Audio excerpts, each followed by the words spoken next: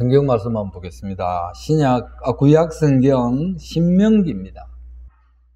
하나님의 명령이죠. 하나님이 말씀하신 책, 신명기 17장 18절, 19절 두 절 말씀입니다. 같이 한번 읽어보겠습니다. 시작.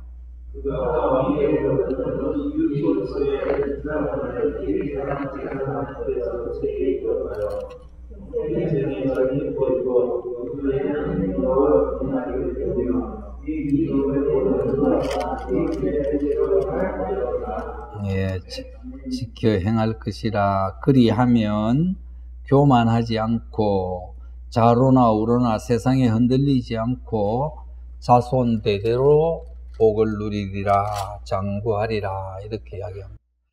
오늘 아침부터 우리 김밥 사신다고 재료 다 만들어 오셔가 아침 일찍 오셔서 다 싸시고 좀그 마음이 너무 고맙고 아름답습니다. 이렇게 뭔가 여분이 우리는 여유가 없잖아요. 잘 살거나 뭐 남들처럼 화려하지도 않습니다. 나누겠다는 그 마음만 간직하고 있어도 참 너무 좋다 이런 생각이 듭니다. 점점 우리 마음속에 따뜻함이 좀은 배려하는 너그러움이 많이 채워지면 참 좋겠습니다. 너무 세상이 각박해가지고 너무 이기적으로 이렇게 되어가는 세상이 되어서 마음속에 여유가 없습니다. 그러니까 점점 남은 그러더라도 나부터 나부터 자꾸 남을 돌아보고 또 좀은 차분하게 생각하는 그런 하나님의 자녀로 또 그것을 두고 기도하고 이렇게 하면 참 좋겠습니다. 가지 무조건 달라 달라 달라 하나님 도와주세요 돈 주세요 뭐 잘 되게 해주세요 이러다 보니까 더 각박해지는 것 같아요. 옛날보다 훨씬 더 각박해지는 것 같아요. 따뜻함이 내 안에 늘 머물 수 있도록 이렇게 기도하면 참 좋겠습니다. 오늘은 또 오래간만에 우리 중국에서 나와서 요즘 한국에 살고 있습니다. 조카 며느리 우리 강예 예안이 또 강예 동생도 함께 해주셔서 너무 고맙습니다. 칼바르트란 여러분은 뭐 몰라도 됩니다. 그냥 유명한 우리가 신학 공부를 하다 보면 정말 신학적인 이 체계를 다룬 그 칼바르트는 유명한 분이 있습니다. 이분은 그 기독교의 정의 만 페이지짜리 책을 기독 정론으로 이렇게 직접 쓰신 분입니다. 그 정도로 유명한 칼바르트는 죄를 죄 죄의 이야기를 합니다. 근데 죄 이야기를 우리는 죄 이러면 거짓말하고 싸우고 욕심내고 남 안 돌보고 내가 막 이기심을 가지고 이런 걸 우리는 죄라 이렇게 하는데 이분은 죄를 포괄적으로 어떻게 어, 이야기를 죄를 나누느냐 이러면 죄를 세 가지로 나눕니다. 하나는 교만, 교만. 하나는 태만, 하나는 기만. 이렇게 죄를 정의하기를 이분은 하나는 교만하고 하나는 태만하고 하나는 기만으로 우리 인간이 죄를 가지고 있다. 이렇게 하면 이게 무슨 말인가 이러니까 교만은 예수님은 우리가 예수 믿는데 인간은 그 신이 하나님이 직접 우리를 구원하기 위해서 이 땅에 가장 낮은 모습으로 인간의 모습으로 오셔서 온갖 질고를 아픈 사람을 가난한 사람을 그리고 힘 있고 돈 있는 사람 그죠 권력 있는 사람들을 바르게 가르치려고 가장 낮은 자리에서 집도 없고 절도 없고 그 복음을 전하는 아름다운 사회를 하나님의 나라를 만들려고 했던 그 겸손한 마음을 우리가 안 가진 것이 죄다 이렇게 이야기합니다. 이걸 보고 교만하다. 왜? 예수님 그렇게 낮아지면서 서로 부둥켜 안고 아름다운 나라를 만들려고 했는데 자기는 자기 혼자 잘 살려고 남 뿌리치고 오히려 싸우고, 싸우고 속이고 이러고 있는 이 교만함 자기를 높이는 나는 뭐 이 정도 내가 잘생기면 되지 내가 이 정도 키고 내가 이 정도 돈 있고 이 좋은 차 좋은 좋은 집 가지고 있으면 되지 하는 이 교만은 하나님 앞에 죄다. 이렇게 해요. 교만의 죄가. 인간이 대만의 죄가 뭔가 이렇게 여러분 점점 성화되어야 되는데 예수님을 닮아가는 사람이 예수가 내 안에 계시면 예, 예수님 삶을 닮아서 그렇게 살아가야 되는데 안 한다. 태만이 뭡니까? 게으르다 이 말이죠. 믿기는 믿고 교회 다니고 잘 예배 잘 드리고 헌금하고 기도하고 하는데 예수님처럼 안 닮아가는 태만이 게으름이 죄다. 여러분 이건 뭐 저 유명한 분이라서 그런지 정확하게 보신 겁니다. 우리 안에 이게 있다는 거죠. 내일 해야지. 아유 좀 미뤄서 해야지. 뭐 안 되네 하고 포기하고 성화가 안 된다 이 말. 점점 높아져가 어른이 되어 가야 되는데 예수님 좀 닮아가 안 돼. 그러니까 태만한 것이 우리 안에 없는지 이것이 죄입니다. 이렇게 합니다. 하나는 기만입니다. 기만은 또 뭐냐? 하나님의 자녀로서 하나님의 자녀로서 너는 이제 성화되어서 복음을 전하고 하나님의 능력을 보여주고 하나님의 사랑을 보여줘야 되는데 이걸 회피한다 이 말이죠. 기만한다 이 말이죠. 기만은 뭡니까? 거짓, 위선. 그러니까 겉만 번지리하게 하나님 자녀고 기도하고 예배드리고 뭐 할 거 다 하는데 하나님의 나라를 위해서는 하는 게 하나도 없어. 이웃들에게 사랑을 베풀고 이웃들에게 복음을 전하면서 자기를 희생하고 낮추고 나누고 배려하는 그걸 오히려 무시해버리는 기만. 죄입니다. 이렇게.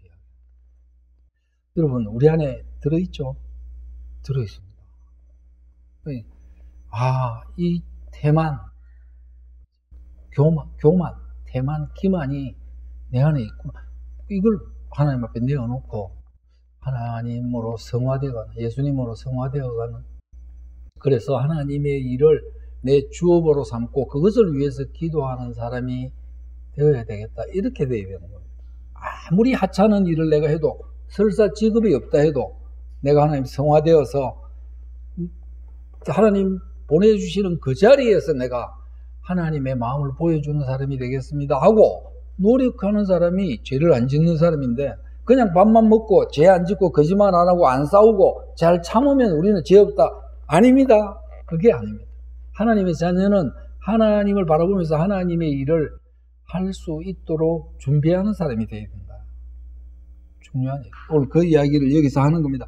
이스라엘 백성들이 나중에 너희들이 하나님 미리 아셨죠? 왕이 필요하거든. 앞에 이야기입니다. 지금 이 이제 14절에 왕이 만약에 필요하면 지금 우리들에게 이야기하는 것은 뭐냐? 하나님의 자녀로서 너희들이 왕 같은 제사장으로 살려고 하면 이렇게 하면서 지금 풀어가는 겁니다. 그 15절. 만약에 너희들이 하나님 자녀로 안 그러면 왕을 선택하려고 하면 왕은 반드시 내가 선택한 사람이 되어야 된다. 이렇게 이야기합니다. 그 하나님이 선택한 사람이 되지 너희들이 마음대로 투표해가 뽑아서 왕 됐다. 안 된다. 하나님이 기름 부은 자를 해라. 두 번째, 그 왕은 군대를 많이 가져서는 안 된다. 왜? 군대를 가지면 반드시 써야 되니까. 전쟁해야 되니까. 그러니까 나쁜 일에 군비를 축적하면 안 돼. 지금 말하면 부동산 뭐 투기해 가지고 뭐 온갖 이런 거 왕은 하면 안 된다. 하나님 선택받은 자는 하면. 여러분, 전쟁이 자꾸 일어납니다. 왜 이렇게 오래 가나? 왜 또 이스라엘하고 그 뭡니까? 저, 저쪽에 하마스인지 뭔지 하고 전쟁을 하고 또 우크라이나 전쟁을 하고 여러분, 인간의 욕, 욕망은 이게 끝도 없는 겁니다.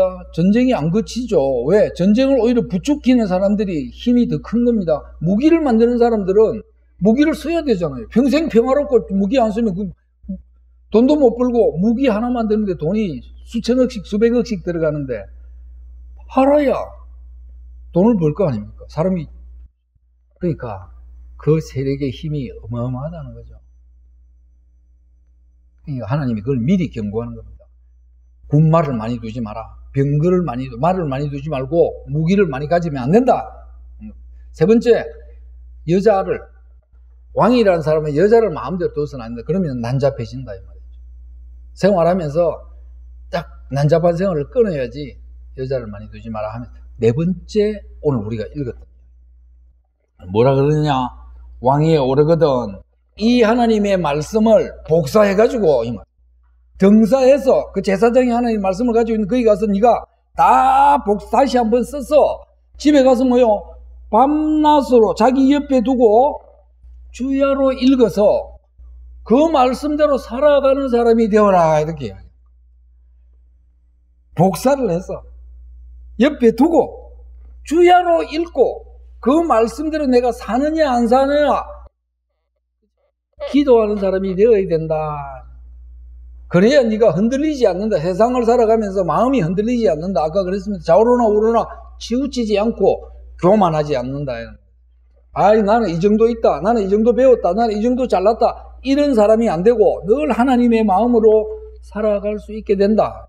그 사람에게는 내가 많은 복을 주겠다. 이렇게 장구하게 될 것이다. 복이 자녀들에게까지 이렇게 이야기합니다. 여러분 주야로 모여 옆에 두고 이 성경책을 옆에 두고 아침 저녁으로 내 일과 중에 하루 일과 중에 가장 중요한 일로 만들어라 이렇게 합니다. 우리는 일 때문에 바빠가지고 성경 읽기, 뭐 주일 예배, 새벽 기도, 뭐 아침에 일찍 일어나서 내가 하루에 10분씩 기도하고 성경 한절 읽겠다. 아이고 바쁘다 오늘은. 아이고 오늘은 피곤하다. 다 미루죠. 근데 왕이 되려고 하면 하나님의 자녀로 살려고 하면 뭐요? 성경책을 옆에다가 탁 끼고 아침 저녁으로 아니면 낮에도 시간이 있어서 여유가 있으면 읽어서 이것이 떠나지 않도록 해야 된다. 이렇게. 여러분 참 중요한 걸 우리는 놓치고 있습니다. 주야로 옆에 두고 하나님 경외하기를 주야로 해야 된다. 밑줄 치고 또 말씀을 읽으면서 내 속에 새기고 외워서 실행하면서 살아가는 사람이 하나님의 자녀가 되는 사람입니다. 그 사람이 왕이 될 자격이 있는 사람이다. 여러분, 이 말씀대로 하면요. 이 말씀대로 하면 성경은 안 읽어도 되는 날은 뭐요? 없다. 없는 거죠. 여러분은 교회 와서 한 번, 목사님 읽을 때 한 번 읽고, 일주일 내내 덮어놨다가, 한 달 내내 덮어놓고, 이런, 이런 날은 그리스도인에게는 없다. 이 말씀대로 하면. 성경을 안 읽는 날은 없다. 하루 일과 중에 가장 중요한 일은 성경을 보고 시작하는 것과 끝이, 끝이 나는 것이다. 이 말씀대로 하면 옆에 두고 늘 하나님과 교제하는 시간이 되어야 된다.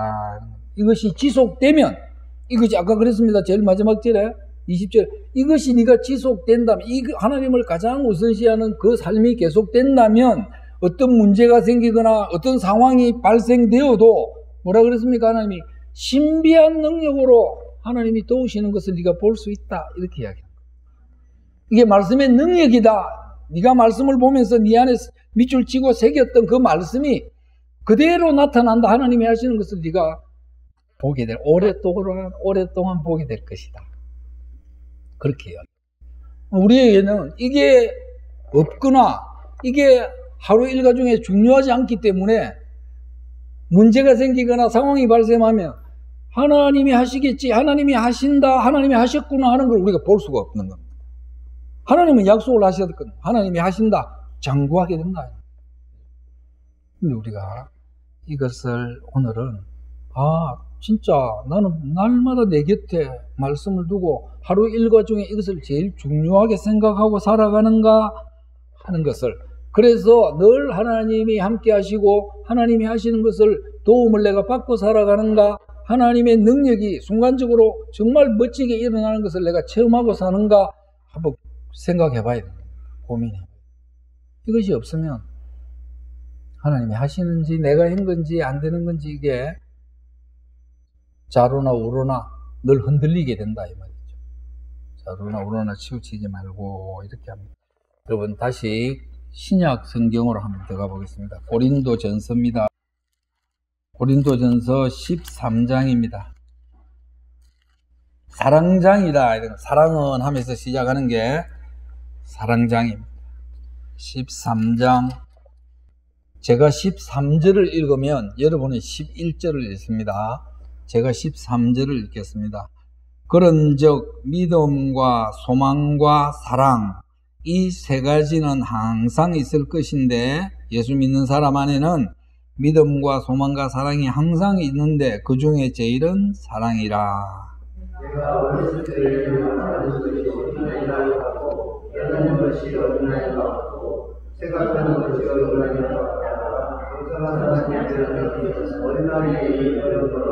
거라 예. 이 바울이 이제 고린도에서 바울이란 유명한 신학자 그죠?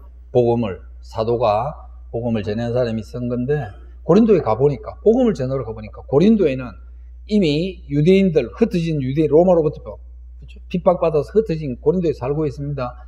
근데 이 사람들이 파가 다 나눠진 거예요.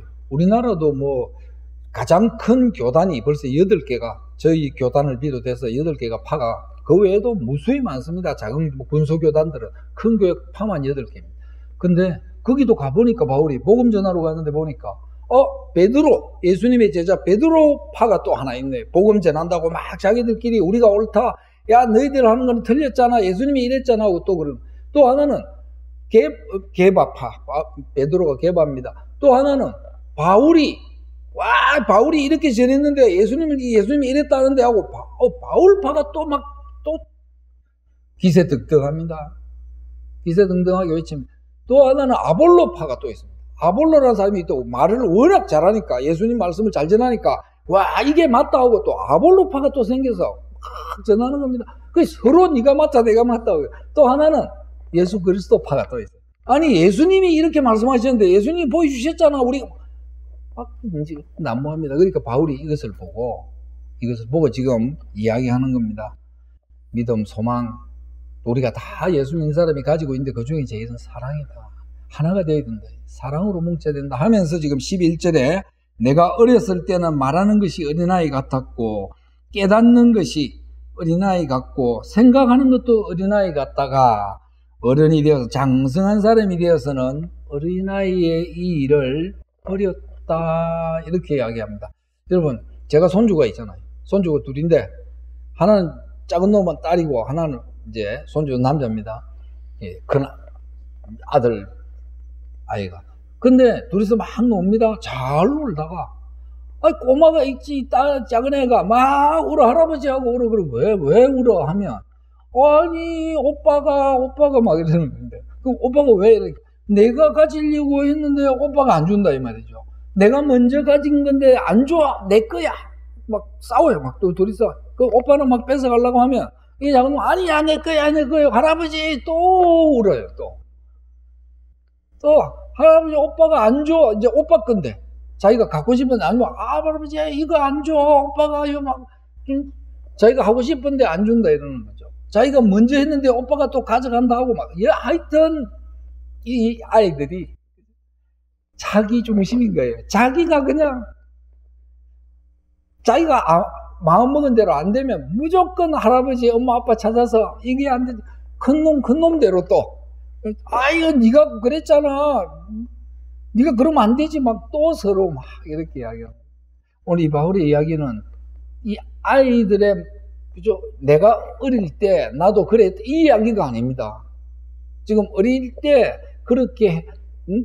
직접 마음대로 하는 그것도 포함되겠지만 그게 아니고 어른이 됐는데도 불구하고 그렇게 아이처럼 살아가는 그리스도인이 되어서는 안 된다. 이 이야기를 하는 겁니다. 지금은 그리스도인이 돼서 장성한 사람이 되어야 되는데 예수님의 마음으로 살아야 되는데 아직도 그 어린 아이처럼 살아가는 그리스도인들이 그 고린도에 너무 많았다는 거죠. 자기 고집대로, 자기 주장대로, 자기가 맞다면 끝까지 맞고 이런 사람들이 너무 많다는 겁니다. 이것을 보고 여러분 믿음도 좋습니다. 소망도 좋습니다. 그러나 사랑이 되어야 됩니다.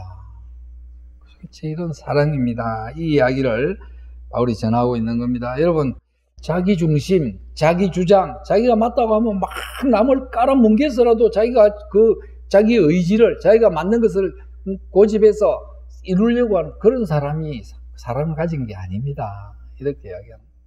사랑 가진 사람은 어떤 사람? 어떤 사람은 장성한 사람은 아, 저 사람이 왜 저렇게 고집을 부리지? 왜 저렇게 잘못한 것을 잘 모르면서도 저렇게 자꾸 가고 있지? 보고 그것을 살그머니 가서 도와주고 또 가르쳐 주고 뭔가 그 사람이 바른 방향으로 갈 수 있도록 제시해 주고 그렇게 돼야지 이제 넌 틀렸어 넌 그거 엉터리 짓 하고 있는 거야 너는 어? 그런 인간 나는 꼴 보기 싫어 어린아이들이 그렇게 한다 장성한 사람이 되어야 된다 이렇게 합니다. 왜 아픈지 저 사람이 저 사람이 왜 울고 있는지. 아이고 저거는 뭐 음? 저짓 하다가 저게 아픈 거지 사고 난 거지 그래서 지가 못 사는 거지 지가 그래서 안 되는 거지. 그건 어린아이들이 하는 거다. 장성한 사람이. 이 장성한 사람은 어떤 사람이 가질 수 있느냐? 예수 믿는 사람 중에.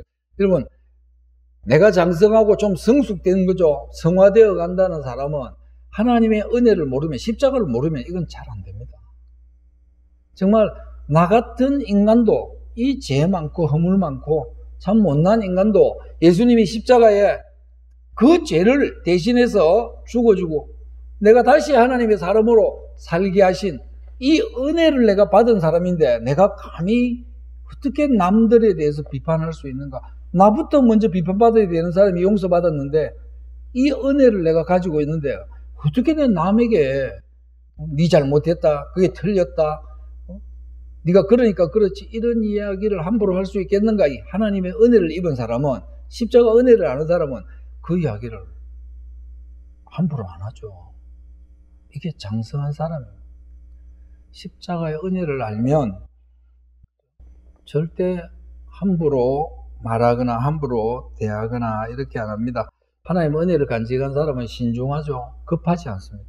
우리는 너무 급해. 예수 믿는다고 하면서도 막 버락버락 막, 막 자기 마음에 금방 안 들면 그 아무것도 아닌데 막 신경질부터 먼저 되는 거예요. 절대 은혜를 입은 사람은 내가 그런 사람이지. 나 저 사람처럼 신경질 막 내고 갑자기 부락부락 우락부락해서 막 화내는 그렇지. 내가 그랬는데 은혜를 받았지. 신중해진다 이 말이죠. 차분해지는 사람이 장성한 사람입니다. 그리고 바르게 하는 거죠. 거짓말 쉽게 하고 막, 막 악, 악, 악, 악 을 갖다가 남에게 막 주먹질 막 싸우고 하는 이거 안 하죠. 왜? 은혜를 입었는데. 나도 저랬는데 그 용서하신 십자가를 입은 사람이 그 은혜를 받았는데 내가 어떻게 하고 겸손하게 바르게 이게 장성한 사람입니다. 이게 어른이 된 사람이다 이 말이죠. 예수 믿는 사람이 그렇게 되는 겁니다. 그리고 부드럽게 되는 거죠. 뭐 너는 너는 너는 너는 손가락질보다 따뜻하게 따뜻하게 하면서 그 사람이 예수님께로 돌아올 수 있도록 그렇게 거칠게 하는 사람이 아니다. 부드럽게 살야지 거칠게 하는 사람 많습니다. 세상은 다 자기만 알고 그러는 겁니다. 그래서 잘 분별하고 판단해서 아름다운 행동을, 아름다운 말을 할 수 있는 사람이 나는 되었다. 바울이 그러는 겁니다. 내가 거칠고, 정말로 금방금방 막 급하고, 거짓말 쉽게 하고, 악 부리고, 남 잡아 죽이고, 남 예수 믿는 사람 잡아 죽이고 감옥에 넣고 그리고 막 화잘 내고 그랬던 내가 예수님 은혜를 입고는 부드럽게 또 천천히 급하지 않고 그렇게 신중하게 부드럽게 살아가는 사람이 되었습니다. 여러분, 이게 장성한 사람입니다. 이게 장성한 사람. 달라져야 되죠. 여러분은 예수님을 어떻게 생각하시는지 모르겠습니다. 저도 처음에는 예수님이 그 사진에 보면 왜 머리 길게 해가지고 아주 근엄한 모습으로 우리 예수님 형상을 보면 그죠? 이렇게 한 번씩 봤을 겁니다. 아주 근엄하고 위험 있고 대단히 막 능력 있는 분처럼 아주 아주 진짜 거룩한 분처럼 이렇게 보이잖아요. 저는 성경을 자꾸 읽으면서 또 기도하면서 또 예수님을 생각하면서 내 자신을 비춰보면서 예수님을 점점점 그 예수님의 형상을 살아계실 때의 모습을 제가 생각해 또 책에도 그런 게 있습니다. 실제로 그게 사실인지 아닌지 모르지만 아마 추측해서 만든 신학자들의 예수님의 모습은 키도 작고 못생기고 이사에서 53장을 비추어서 키도 작고 못생기고 머리도 머리카락도 별로 없고 대머리 비슷하고 아마 아주 서민적이었을 것이다 이렇게 이야기하는 추측하는 그 서적도 있습니다. 그 저도 아니 저는 그 그 그거는 지식적으로 알았죠. 근데 성경을 자꾸 읽어보면서 그렇구나. 내가 사진에서 봤던 뭔가 내가 예수 믿으면서 거룩하게 보였던 예수님이 아니고 지금도 내 곁에 계셔서 야 너 뭐하니? 뭐 그런 생각을 해. 야 너 밥 먹었나? 밥이나 먹고 해. 그 안 될 때도 있잖아. 그 왜 자꾸 안, 한 번, 두 번 안 되는 거에 머리를 그렇게 고르고 쳐받고는 그게 안 된다고 너 떼쓰고 있니? 그렇게 할 필요 없어. 내가 옆에 있잖아. 정말 친구 같고 서민적이고 그냥 나는 고민되어 죽겠 나는 지금 정말로 막 성질이 우락부락 하는데 예수님은 그냥 웃으면서 야 그래 본들로 무슨 좋아지는 게 있니? 그냥 가라앉혀 그러시는 친구가 아닐까 이런 생각이 드는 겁니다. 정말 친구면서도 서민적이고 가까이 계시면서도 부드럽고 그런 분이 예수님이 아니실까? 우리가 너무 막 예수님 멀리 두고 나도 예수님처럼 되려면 난 절대 안 돼. 아 그렇게 돼. 그러지는 않았을 것이다. 이런 늘안 될 때마다 힘들 때마다 짜증날 때마다 옆에 와서 웃으면서 야 이마 밥이나 먹어 그냥 별거 있어 인생 그냥 그냥 그렇게 살아 괜찮아 웃으면서 살아 여러분 그런 친구 같은 분이 아닐까 그런 생각이 드는 겁니다. 또 실제로 성경에 보면 그런 장면들도 많이 있습니다. 누가복음 5장에 이런 이야기가 있습니다. 레위 이름이 레위라는 세리가 있습니다. 세리는 뭐예요? 세금 거두는 사람이죠. 이스라엘 백성 자기 백성들에게 세금을 걷어가지고 로마에 그때 그 족속 그죠 노예로 사니까 로마의 정부에 세금을 바쳐야 되는 겁니다. 그럼 장사 어렵게 어렵게 하는데 세금 자기가 그도가 바치니까 세리는 뭐요? 유대인들에게는 이스라엘 사람들에게는 적은 개라 그러죠 개. 로마에 돈을 갖다 바치는 우리의 돈을 피를 뽑아서 갖다 바치는 개들이다 이래서 취급을 안 한 겁니다. 여러분 세리는 유대인들에게는 인간 취급을 못 받았습니다. 저는, 저는 인간도 아니다. 그러니까 친구가 있었겠습니까? 아무도 없습니다. 친구 누가 누가 친구 해 주겠습니까? 얼마나 외로웠겠습니까? 자기는 잘 먹고 잘 사는데 그죠? 쓸 데도 없어. 왜? 누가 있어야 쓰죠. 쓰고 싶어도 누가 인간 취급을 해줘야죠. 얼마나 외로웠겠습니까? 악착같이 돈은 모았는데 주변에 사람들이 아무도 없어. 근데 어느 날 예수님, 예수님 만났습니다. 야, 너 나 따라오너라. 예수님이. 누가복음에 오장. 야, 너 나 따라오니까 얼마나 외로웠으면, 여태까지 얼마나 인간 취급을 못 받았으면, 얼마나 정말 사, 재밌게 좀 살고 싶었으면, 아이고 예수님 감사합니다 하고 모든 것을 버리고 따라갔다 이런 겁니다. 자기 세리 직업 다 버리고 지금까지 살아왔던 외로움, 돈 다 버리고 따라간 겁니다. 그러면서 얼마나 감사했던지 큰 잔치를 베푸는 겁니다. 예수님 초청하고 예수님 주변에 사람 불러가지고 큰 초... 그러니까 옆에 있는 바리새인과 아주 근엄하고 위험 있고 성경 제일 많이 알고 또 유대인들의 장사하고 못 배우고 가난하고 주일도 못 지키는 사람들한테는 저건 너희들은 하나님 앞에 죄인들이야 너희는 악인들이야 너희는 못된 놈들이야 너는 안 되는 놈들이야. 이렇게 손가락질 했던 바리새인과 사두개인들이 아니 예수는 하나님의 말씀을 전한다고 하면서 하나님의 아들이라고 하면서 어떻게 저 죄인하고 밥을 먹느냐 이 이야기를.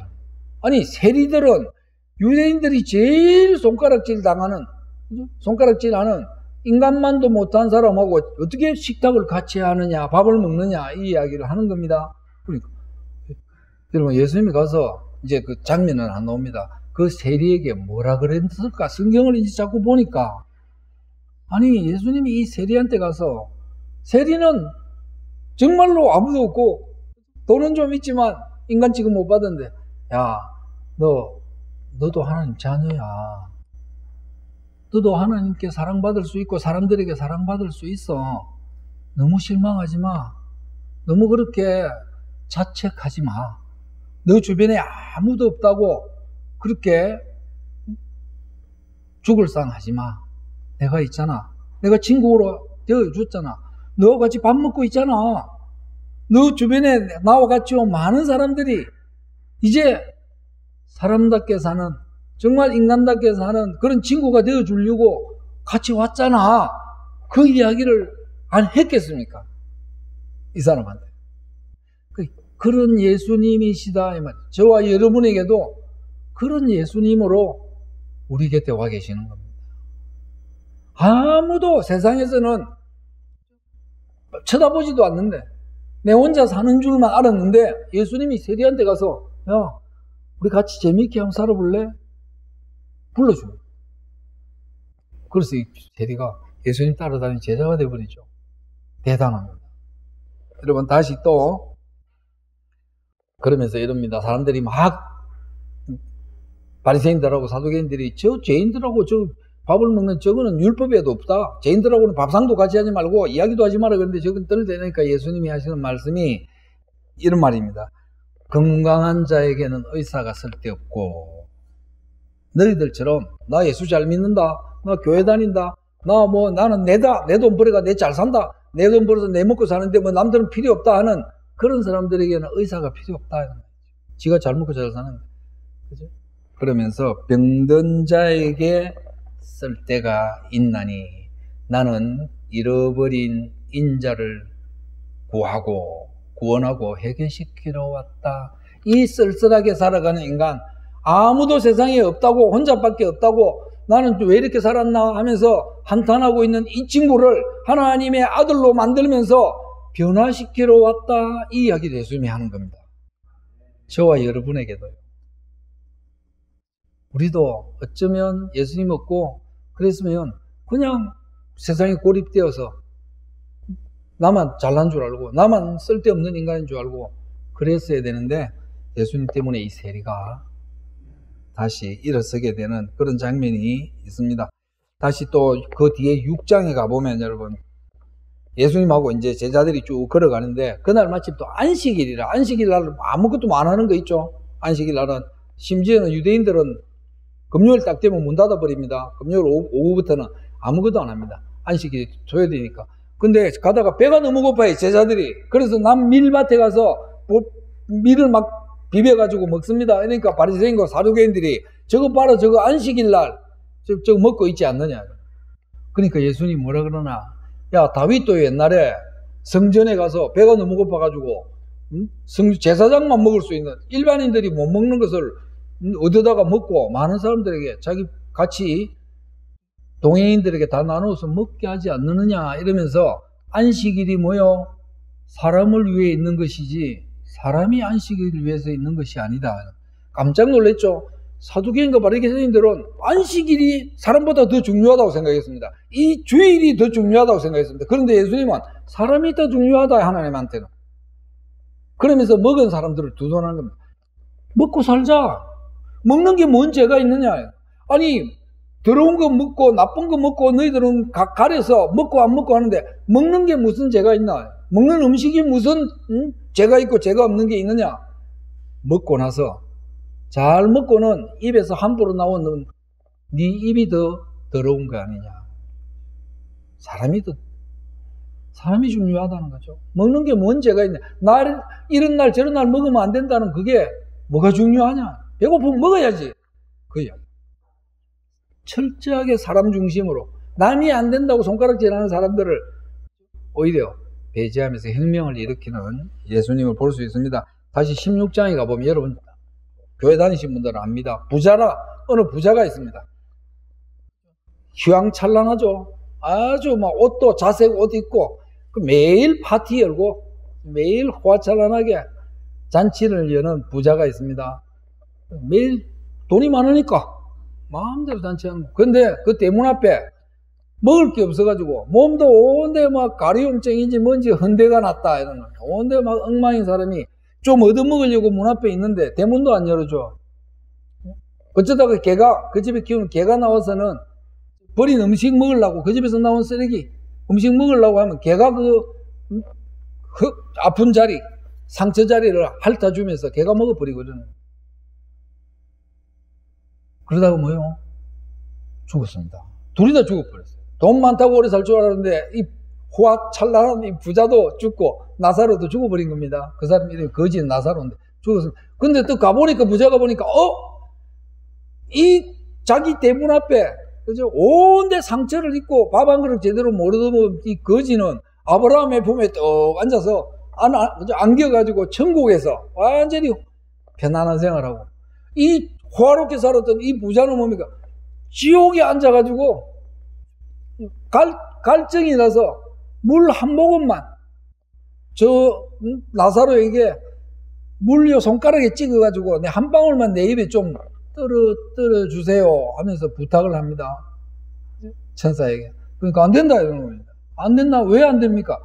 너는 세상의 사람들이 호화찬란하게 좋은 차, 좋은 집, 좋은 옷, 바라하고 막 살, 살고 쟤는 아무것도 못 먹고 얻어먹을 것도 없어서 어? 온데 상처 입고 살다가 왔는데 너는 세상에 살면서 네 마음대로 호화롭고 쟤는 고난을 받았는데 여기서는 쟤가 위로를 받아야 되는 거 아니야. 너는 고난도 겪어봐야 되는 거 아니냐 하면서 안 된다 이러는 겁니다.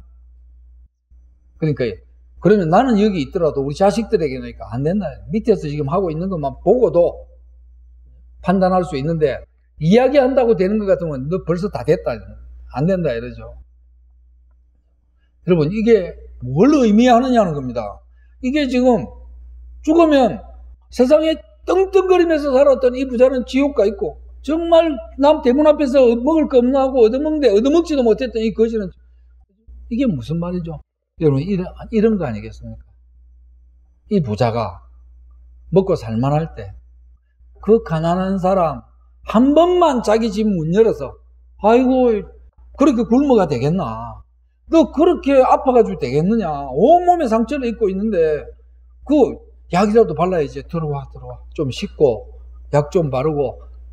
우리는 매일매일 잔치하고 먹는데 그래 이거라도 먹어 하면서 그 자기가 먹던 남은 거라도 따뜻한 자리에 앉혀서 따뜻한 방에 앉혀서 한 번만 열어줬으면 한 번만 대접했으면 그런 마음을 가졌으면 이 사람도 천국 가 있을 건데 말이죠.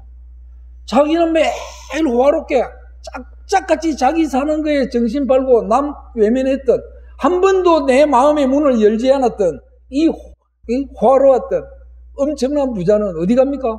지옥 갈 수밖에 없죠. 여러분 생각해도 지옥 가야 안 되겠습니까? 안 그렇겠습니까? 아니, 내 마음대로 쓸 수 있는 돈으로 저 아파하고 울고 있고 가난해서 밥도 못 먹는 사람들을 한 번도 안 돌아보았다. 내 마음 문을 한 번도 안 열어보고 그렇지 내가 이 정도 있는 것은 누군가로부터 은혜를 입었고 누군가로부터 내가 복을 받았으니까 그래도 저렇게 아파하는 사람, 저렇게 울고 있는 사람, 저렇게 배고파하는 사람들에게 내가 한 번쯤은 초청해서 밥 한 그릇 같이 먹어야 되는 마음이 없는 사람이면 어디로 가야 됩니까? 지옥 가는 게 맞죠. 너는 그랬지 않느냐 이러는 거는 천사가. 여러분 우리에게도 똑같은 마음입니다. 뭐 이렇게 작고 많다, 나는 부자다, 나는 아직까지 아니다 이런 게 아닙니다. 우리 마음 속에 뭔가 아파하고 울고 정말 하루를 걱정해야 되는 사람이 있다면 그게 지속적으로 보인다면 한 번쯤은 대문을 열고 내가 오라 해야죠. 와서 위로하고 따뜻한 밥 한 끼 나누고 그들이 필요한 아파하는 것을 같이 울어주고 이렇게 되어야 된다 말씀하시는 그리스도인은 바로 이런 것이다. 등사본을 복사해놓고 매일매일 아침 저녁으로 읽어내는 사람은 이런 사람이 되어야 된다. 이게 예수님이 오신 것이다. 그것을 보여주려고 그렇게 여러분 19장에 가면요. 이제 이게 누가 보면 이런 이야기가 많습니다. 19장에 가면 사개오라는 사람이 또 나옵니다. 사개오 아시죠? 조그마한 키 난장이고 그죠? 이 사람은 뭐요? 아까는 세리라 했잖아요. 레위라는 이름이 세리. 이 사람은 또 세무청장이네. 국세청장이네. 세무, 세리장이다. 이렇게 나옵니다. 사개오는. 키도 조그만 해가. 근데 아무도 없어. 주변에. 돈은 많고 로마에 갖다 바치고 그죠? 대굴처럼 사는데 주변에 사람이 없어. 왜? 유대인들이 넌 인간도 아니야. 넌 개야. 우리 세금 뺏어가 로마에 갖다 바치는. 이러니까 얼마나 외로웠겠어. 얼마나 정말 사는 재미가 없었겠습니까? 그러니까 예수님이 지나간다 소리 듣고 키가 작으니까 예수님 저기 가는데 안 보이니까 어디로 올라갑니까? 돌 무화과 나무, 뽕나무에 올라가서 예수님 쳐다보고 있습니다. 그러니까 예수님이 그죠? 나무 위에서 보고 있으니까 키가 자그마한 사개오가 있으니까 예수님 야 급히 내려와 빨리 내려와야 되니까 이 사람이 막 그 말 떨어지자마자 막 급히 내려옵니다. 쭉 타고 내려와서 예수님 앞에 가서 그러니까 얼마나 외로웠겠습니까? 돈은 많은데 사람들한테 인정을 못 받고 아무도 주변에 자기를 알아주거나 자기를 뭔가 이야기할 만한 친구도 없이 그러니까 예수님 부르니까 급하게 갑니까? 그 예수님이 뭐라 그러냐? 사케오야 오늘 내가 너희 집에 유해야겠다. 머물러야겠다. 내가 너네 집에 가서 좀 자야겠다. 먹어야 되겠다. 여러분 아무도 사케오에게 야, 밥 한 끼 합시다. 아, 이야기 좀 합시다. 커피 한 잔 합시다. 아, 그래, 어떻게 사요? 재미있어? 그 당신 돈 좀 있으면 어떻게 쓰고 있어? 여행도 좀 다녀. 해주는 사람이 아무도 없습니다. 그냥 자기 돈 열심히 벌어가지고 자기 쓰기는 쓰는데 세상이 삭막해. 재미가 없어. 사케오. 그 예수님이 막 아픈 사람, 뵙는 사람, 우는 사람 찾아다닌다니까 자기도 그, 그죠? 남이 볼 때는 멀쩡하고 돈도 많은데 마음이 다 썩어가지고 나무 위에 올라갔다 예수님 내려오라니까. 여러분, 사케오 집에 갔습니다. 이제 성경에는 없습니다. 그까지만 있지. 뭐라 그랬겠습니까, 사케오? 사케오야, 외롭지. 세상 살기 힘들지. 너는 돈은 번다고 버는데 주변에 사람은 아무도 없지. 왜 없니? 이렇게 살면 재미없잖아. 좀 열고 살아. 좀 따뜻하게 사람들 만나고 베풀고. 너 돈 많이 버는 거 좋아. 그건 나쁜 거 아니야. 그런데 쓸때 아름답게 써야지. 안 그랬겠습니까? 그러니까 사교가 뭐라 그럽니까? 예수님, 정말 감사합니다. 내가 내 절반, 재산의 절반을 어려운 사람들에게 다 나누겠습니다. 그리고 내가 혹시 세금을 더 탈취했거나 못된 짓 해서 내가 더 뺏어왔다면 네 배로 갚겠습니다. 그런 사람들에게. 그 이야기를 하는 여러분, 이런 사람이 예수님 만나고 이렇게 바뀌어버리는 겁니다. 밥한 그릇 먹어줬는데, 그 집에 가서 차 한 잔 먹어줬는데, 사람이 바뀌어버려요.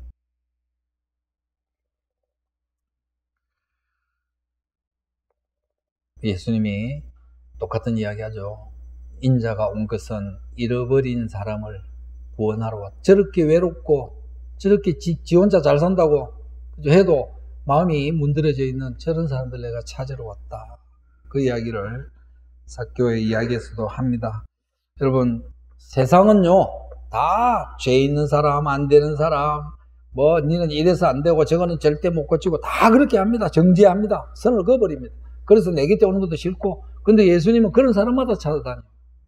그 가능성을 열어주는 겁니다. 사교회 외롭지?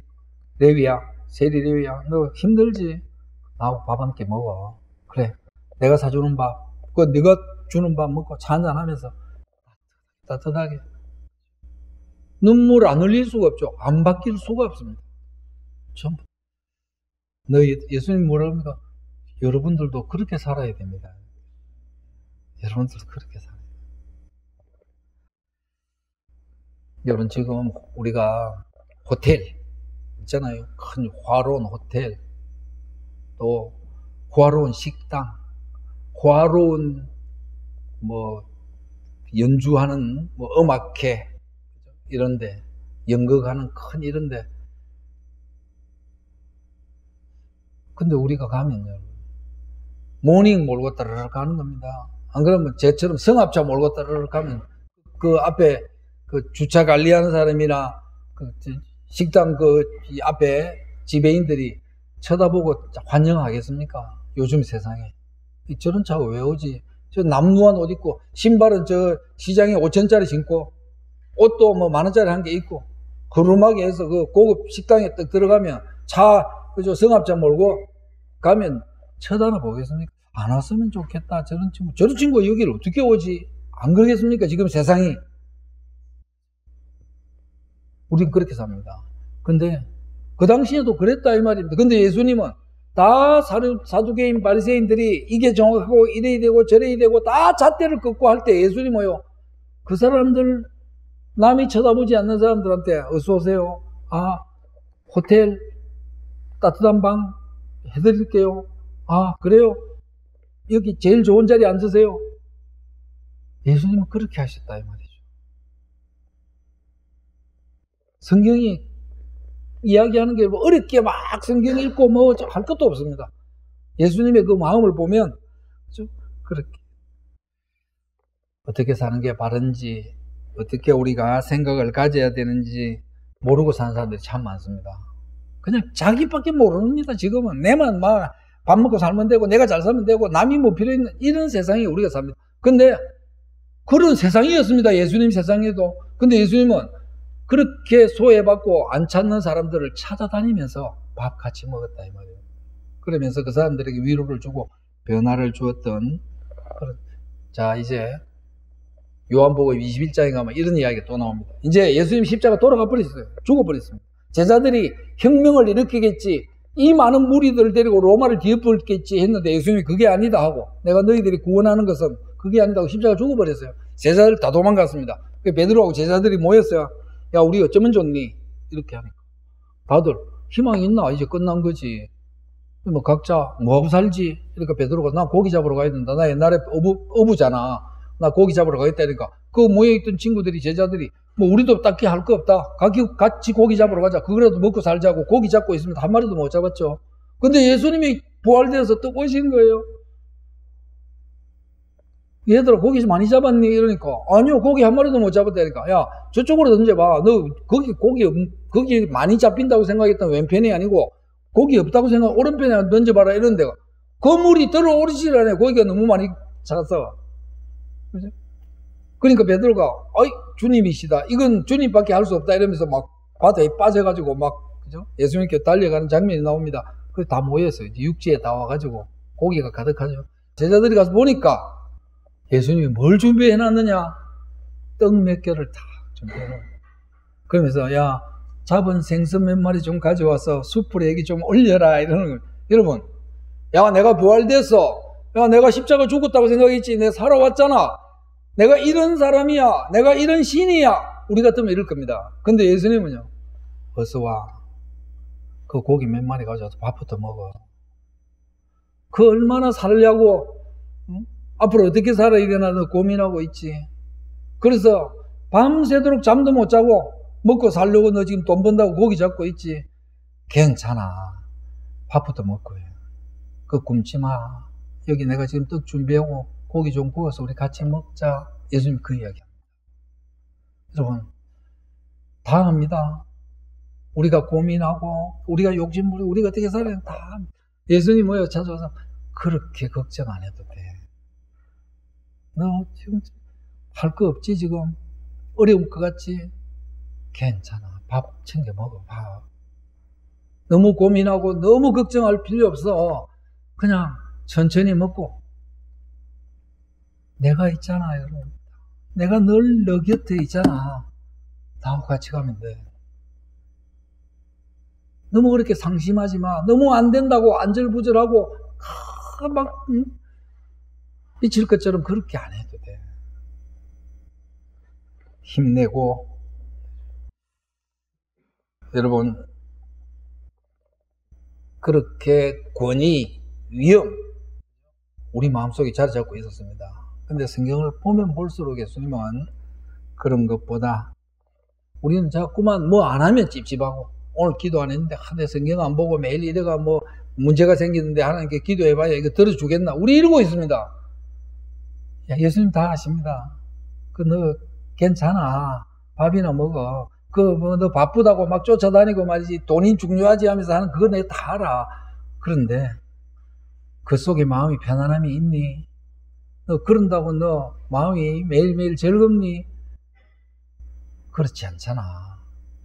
좀 편안하게. 그거 없어도 돼. 마음부터 편안하게 가져. 예수님 곁에 오셔서 그 이야기 하시는 거예요. 그래서 그 이야기 들은 제자들은 다시 또, 그래, 이거야 하면서 직업을 던지고 그 마음을, 그 예수님 마음 전하러 가는 겁니다. 복음이 뭡니까, 여러분? 좋은 소식입니다. 많은 잃어버린 세상, 사람들, 그 여유 없고 각박하게 오직, 오직 돈돈 하면서 살아가는 사람들에게 이 제자들이 바로 예수님의 저 마음이지.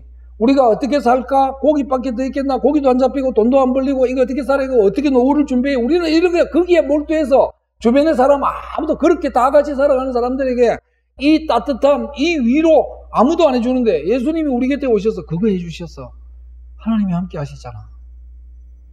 가자, 우리도. 그거 전하러 가자. 그게 제자들의 모습입니다. 그 성경은 그 이야기. 여러분에게도 그렇게 하십시오 하는 게 우리들에게 하는 말씀이다 이 말입니다. 사도행전 한번 보겠습니다. 이제 제자들이 하는 거죠. 예수님이 부활하신 예수님이 오셔서 쭉 자기들하고 3년 동안 보여준 밥, 밥, 밥, 밥 식탁을 같이 먹고 그 외롭고 어렵고 걱정되고 고민했던 사람들하고 예, 대화를 나누면서 보여주셨던 그 예수님의 따뜻함, 그 위로, 그 사랑, 그 도우심, 다 겪은 제자들이 이제 만들어가는 세상입니다. 44절, 45절, 46절, 47절입니다. 2장. 믿는 사람이 다 함께 있어서 모든 물건을 서로 교류, 교류하고 통용하고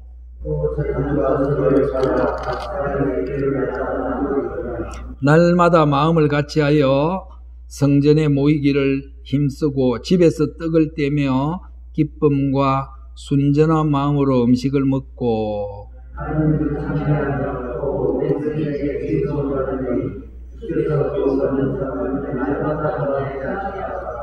그렇죠. 이 각박한 세상에 다 자기 재산, 자기 돈 조금씩 내서 어려운 사람 밥 사주고 같이 이야기하고 커피 사주면서 나누고 나누고 하면서 위로와 따뜻함을 보이니까 자꾸 모이더라 이 말이죠. 자꾸 모이더라. 하나님이 자꾸 자꾸 그런 사람 붙여주더라. 더하여지더라. 그렇게 마음을 같이 해서 그 다음 사장으로 가보겠습니다. 32절에서 37절까지입니다. 믿는 무리가 믿는 사람들이 한 마음과 한 뜻이 되어서 모든 물건을 서로 통용하고 자기 재물을 조금이라도 자기 것이라 하는 이가 하나도 없더라.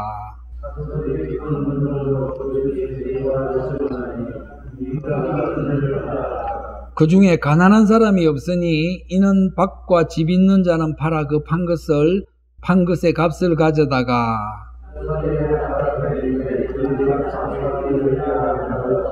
예, 여기까 여러분 아까 예수님의 그 마음, 예수님이 찾아갈 때마다 정말 소외되고 외롭고 가난하고 힘들었던 사람들한테 괜찮아 밥 같이 먹자. 야 커피 한 잔 해와서 괜찮아. 그러면서 그 사람들이 변화되고 있었던 사람들은 재산을 내놓고 가난한 사람 다 주겠습니다. 내가 다 나누겠습니다. 이 그 아름다운 세상을 몰랐습니다. 정말 이렇게 사는 것이 진짜 멋진데 몰랐습니다 하고 예수님께로 다가가는 그죠? 그것을 보았던 제자들이 어떻게 합니까? 자기가 가진 재산들을 다 나눠주고 나눠주고 하니까 별로 가진 것도 그 당시에 유대인들이 돈이 없습니다. 근데 그것마저도 나누고 나누고 밥 같이 먹고 커피 먹으면서 한 마음으로 살아가니까 뭐요? 가난한 사람이 아무도 없더라. 원래는 많았는데 원래는 니는 있고 나는 없고 그래서 니 죽일 놈 너는 막 인간 니는 내, 내 곁에 오지도 못해 이랬던 사람들인데 예수님의 마음으로 전부 다 살아가려고 하니까 뭐요? 가난한 사람이 아무도 없어진 겁니다. 왜 없겠어? 없었겠습니까? 있었죠. 그래도 그래도 있었겠지만 마음들이 다 부자가 되었다 이 말이죠. 다 서로 서로 남을 먼저 생각하면서 따뜻함을 아름다움을 사랑을 베푸니까 정말 살만나구나. 정말 아름다운 세상이구나. 이렇게 되더라 이 말입니다. 이게 하나님 나라입니다. 저와 여러분이 만들어 가기를 그래서 하나님이 능력 주시기를 도움 주시기를 하나님 간절히 바라고 있습니다. 이런 마음 좀 가지라는 겁니다. 이렇게 살면 아름답지 않느냐 이러는 겁니다. 야, 너 나하고 밥 먹었듯이, 너 구원받았듯이, 그런 사람들이 외롭고 소외되고 뭔가 외롭고 있는 사람 없는 사람한테 찾아가서 밥 한 끼 사줘. 내가 너하고 밥 먹자 했듯이 차 한 잔 사주면서 좀 세상에 여유 있는 모습, 부드러운 모습, 좀 뭔가 친절하면서 따뜻한 모습, 그렇게 살면 돼. 그렇게 이야기하시. 기도하겠습니다. 하나님, 예수님 살아생전에 보여주셨던 그 따뜻한 마음, 가단하고 울고 또 힘들어하는 사람들 마음 문을 열고 밥 한 끼 먹자. 차 한잔 하면서 한잔 하자 하면서 먼저 찾아가셔서 그 마음을 바꾸시는 예수님의 그 마음 우리가 간직하기를 원합니다. 그것이 복음이고 그것이 사랑이고 그것이 하나님이 우리를 통해서 하시고자 하는 일인 것을 우리가 알았으니 지금까지 닫혀 있던 우리 마음문을 활짝 열고 하나님의 마음으로 좀은 자유하고 좀은 여유롭고 좀은 부드럽고 좀은 더 바른 마음으로 살아가는 가족들이 되게 하여 주옵소서 그 위에 장구한 복을 주시겠다고 약속하십니다. 하나님 오늘 이 말씀 안고 기도할 때마다 점점 장성한 사람이 되어가는 들무새 가족들이 되게 하여 주옵소서 오늘 말씀 가슴에 안고 기도할 때마다 하늘 문이 열리는 것을 간절히 바라는 가족들 위해 예수 그리스도의 십자가 은혜와 하나님의 무한하신 사랑과 성령님의 열어주시고 도와주심이 영원토록 함께 해 주시기를 간절히 축원하옵나이다. 아멘.